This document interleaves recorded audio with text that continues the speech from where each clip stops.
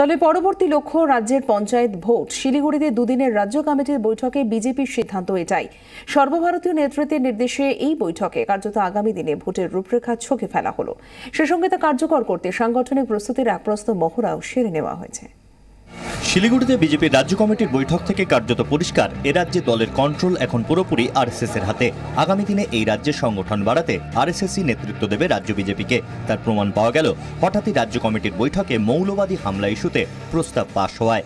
বাংলাদেশে সংখ্যালঘুদের উপরে যে অত্যাচার হচ্ছে, হত্যা হচ্ছে, যে ভয়ের পরিবেশ তৈরি হয়েছে সেটার থেকে যাতে সাধারণ ওখানকার সংখ্যালঘুকে, ওখানকার সরকার আর সুরক্ষা দেয় এবং সঙ্গে সঙ্গে এটা বলেছি, এপার বাংলায় তার যে প্রভাব পড়ছে, জামাত তথা আল কায়দা উগ্রপন্থীরা এসে পশ্চিমবাংলায় তারা বিভিন্ন ধরনের উৎপাত করছে, রাষ্ট্রবিরোধী, সমাজবিরোধী গতিবিধির সঙ্গে যুক্ত হয়েছে। পশ্চিমবঙ্গ সরকার যাতে এ ব্যাপারে সংবেদনশীল থাকে।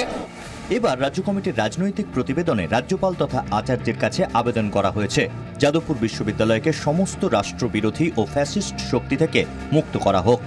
রাজ্য বিজেপির বক্তব্য, এবার ভোটে পরিকল্পিতভাবে বিজেপিকে মিডিয়া থেকে ব্ল্যাকআউট করে রাজনৈতিকভাবে অপ্রাসঙ্গিক করার চেষ্টা করা হয়েছিল, তবে দল সার্বিক সাফল্য পেয়েছে।